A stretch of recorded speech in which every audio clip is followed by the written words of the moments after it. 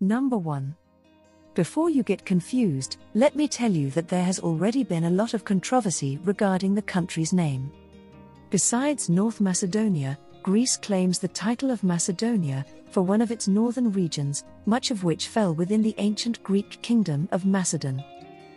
However, all this has now been resolved with the addition of the word north to the country's name. Number 2.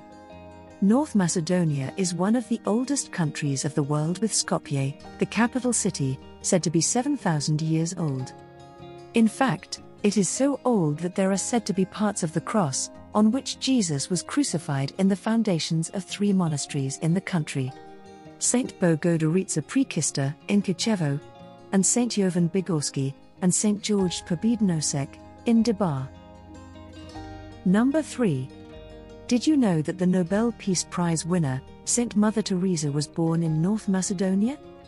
Born in Skopje in 1910, she was Albanian by ethnicity at the time of her birth. Today in the country, there is both a statue of her and a museum dedicated to her life. Number 4. Alexander the Great, who was once the king of the Kingdom of Macedonia, was the world's first conqueror who extended an empire across Greece and Persia, to India and Egypt. On an awkward note, his legacy is also claimed by Greece, and so now you know why there's a controversy with Greece regarding the name. Number 5. There is a country within Macedonia. In 1991, after Macedonia gained independence, the small village of Vevcani declared itself the independent Republic of Vevcani. It had its own flag, passport, and currency, but the republic didn't last long and soon it became a part of the nearest municipality. However, the village still likes to think of itself as a separate entity and use it to attract tourists.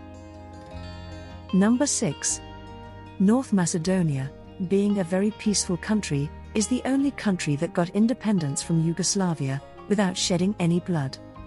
It remained totally at peace during the Yugoslav War in the early 1990s.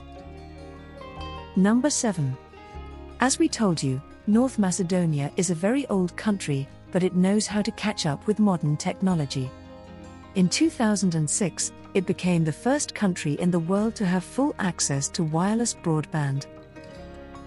Number 8. North Macedonia is home to the 288 meters deep Ohrid Lake, which is the oldest and one of the deepest lakes in Europe. It is estimated to be around 4 million years old, possessing 200 endemic species that haven't been found at any other place in the world. It was also declared a World Heritage Site by UNESCO in 1979. That was all about North Macedonia. Do like, share, comment, and subscribe to our channel, Explified.